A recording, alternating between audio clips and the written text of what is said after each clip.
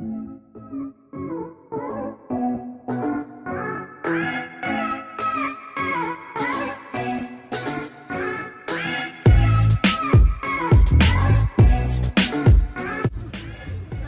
G'day everyone, welcome to the second match day vlog here at Leederville Oval here with Bray again for number two. How are you mate? Yeah, good to be here Rocky. It's a lovely day out here at Leederville. It is, of course we've got four of our previous guests playing for Subi and a few to keep an eye on for South, so uh, be good to see them go to work. Noah Tonkin will be making his uh, vlog debut a bit later on with a, a late appearance, but um, yeah, it's uh, beautiful conditions down here, better than the last time we did the vlog. Um, Um, down at Perth, Black Lane.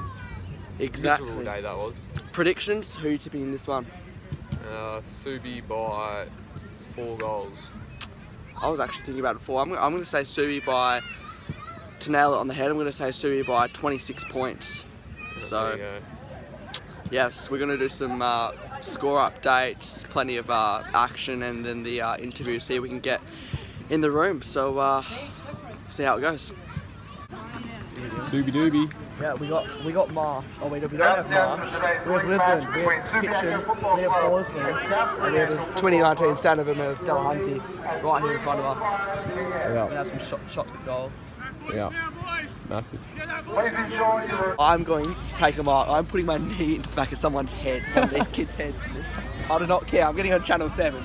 Alrighty, alrighty. Got a set shot here. Get up, Ethan, get up. Oh, lovely. Doesn't mind it.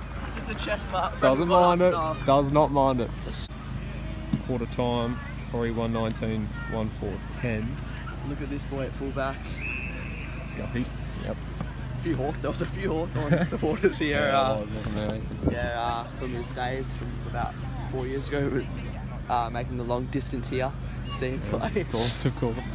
The naked man Harry Marsh is walking, running around. Yeah, the, he's uh, roaming around over there in the facilities. Just taking over the boundary there it is. Look at these traditional supporters right here. Yeah, loving the flag waving. Just shows that the WAFL's not dying yet. Sure is. Half time, Ethan. yeah. Uh, 4 3 27, 3 5 23. Good game. Yeah, as- South come back. as much as the game's been on my mind and I've been watching it, it's been so funny. The uh, we haven't been be able, been we haven't been able to film it, but the South Fremantle faithfuls have been absolutely giving it to our OG guest Lidland, and he's been uh, back chatting and uh, gave him the finger at one point. So uh, Yeah. We'll see who gets the last laugh. But Yeah, exactly. And it's the forward line of uh, South have actually been pretty impressive in that last or that second quarter. yeah, they are they're presenting hard, making a contest for the small forwards, and um, no signs of the 2019 grand final getting, Yeah, into, the, know, getting yeah. into the brain of the uh, Bulldogs. So. Yeah, Big second half coming up. yeah. Can't wait. Rates his chances again here, Ethan. Comes in. Is on the way. Roffy, get under it. What are you doing, Roffy? Weak. All right. We've just had a special guest rock up. Noah Tonkin. His debut. Yeah, for day one. How you With feeling? a burrito. With a burrito. Mate, how you From feeling? Guzman Y Gomez. Yeah. First bite.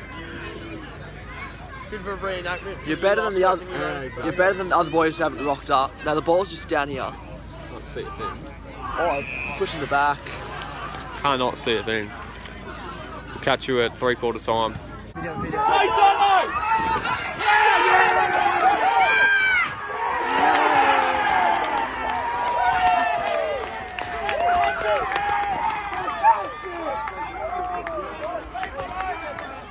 All right, we're just down here with uh, Nick Suban. Must be a great win. Confidence beating a team like Subiaco, who've uh, been a powerhouse of the competition for, so, for such a long time. Yeah, it was a good win. I think the boys. It's pretty pretty tight contest for three quarters, really. Um, and there we just grinded in the last quarter and um, kind of broke the game open. But um, no, we know they had a few out, and um, yeah, it's only early in the season, so um, good win, uh, good confidence boost for the boys. But um, obviously, you know, we'll probably see them later in the year. And you've been playing a bit down back. So where do you like to play, and what's the uh, percentage of midfield to, to back line at this stage? Yeah, probably been more midfield this year, um, but yeah, a bit versatile. So back for uh, don't go forward, back in back in mid. Um, so just whatever the team needs, mate. But um, yeah, mainly mid this year. And plenty of good performances today. Who do you think got your three, two, and one? If you had to uh, do the voting. Good question. I, I struggle to find who plays well um, straight after the game, but I think I think Jakey Florenca's been going well for us uh, earlier in the year, so I'd say he was pretty good. Um, I reckon Sloithy after half time found some good form as well, and um, probably Jimmy Miller, our, our key forward slash ruckman's been going pretty well as well. So I thought he was pretty good today as well. So it doesn't answer your question, but um, I think those three have been pretty good uh. Fair enough. But um, you're versing the Swans next week, so uh, looking forward to that challenge. Um, Yeah, yeah, it must yeah. be. Look, I don't know how they went today, but they've definitely been in all their games. So um, yeah, be another good challenge, and um, yeah, something we'll be looking forward to. And you're heading back to the club now, or No, uh, we're just doing recovery here, and then we'll have a meeting and, and off home. So yeah. Yeah? Well, good luck for the rest of the year. Cheers Thanks, for joining mate. us. Cheers. Cheers. Uh, Brandon Donaldson, you kicked two goals today. Must be nice coming back from that hamstring. Yeah, it was good. Um, it's always good to beat Subi and then yeah to, to kick two goals and be able to contribute personally as well is always good. Um, yeah, hamstring felt great and I also had a little quad niggle, so um, got over the line, which is good. Yeah, and you've pulled up nicely, or is it sore, or No, perfect. Yeah, pulled up really well. So um, yeah, now it's just recovery and then look towards next week. Yeah, and we we're going to ask everyone this, but who got your three, two, and one if you had to vote today? That's hard. It's hard because everyone contributed really well. Um, I thought our leaders were really good. So you know, Cade Stewart in the middle there, I thought he was he was pretty impressive. Zach Strom, I'd probably get in the votes as well. I think he had you know 20 odd touches and he had 17 contested as a wingman and a ruckman, so he was pretty impressive. Um, and then I think you know just I think our forwards all as a group contributed really well, so I was pretty happy with them. Yeah, well, there you have it. Cheers for joining us.